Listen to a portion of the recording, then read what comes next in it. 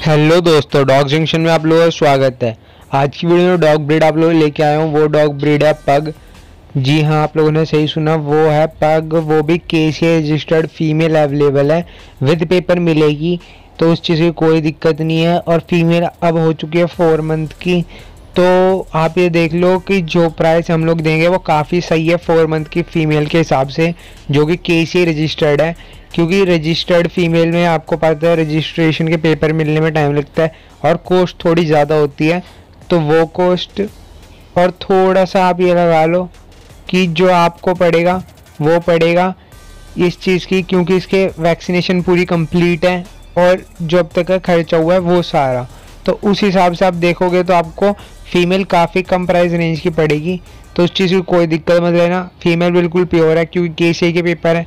जो भी मेरे भाई आगे लेने में इंटरेस्टेड है ना, भले वो ब्रीडिंग पर्पज से है, घर में थोड़ी अच्छी क्वालिटी में मतलब जो नॉर्मली लोग नहीं पालते विद पेपर या आप कह सकते हो अच्छी क्वालिटी की फ़ीमेल पालने में तो वो कॉन्टैक्ट कर सकते हैं।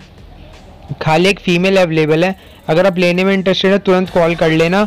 और बाकी एक प्योर वाइट कलर का जो फ्रेंच बुलडॉग होता है, वो भी अवेलेबल है मेल तो उसके लिए भी आप कॉल कर सकते हैं। बाकी मैं आपको इसका प्राइस बता देता हूँ। जो इसका प्राइस है, वो है थर्टी एट थाउज़ेंड जी हाँ अड़तीस हज़ार रुपये में आपको के रजिस्टर्ड फीमेल मिल रही है फोर मंथ्स की, जिसकी सारी वैक्सीनेशन अब तक का खाना और क्वालिटी आप देख सकते हो। वीडियो में काफ़ी अच्छी क्वालिटी में है।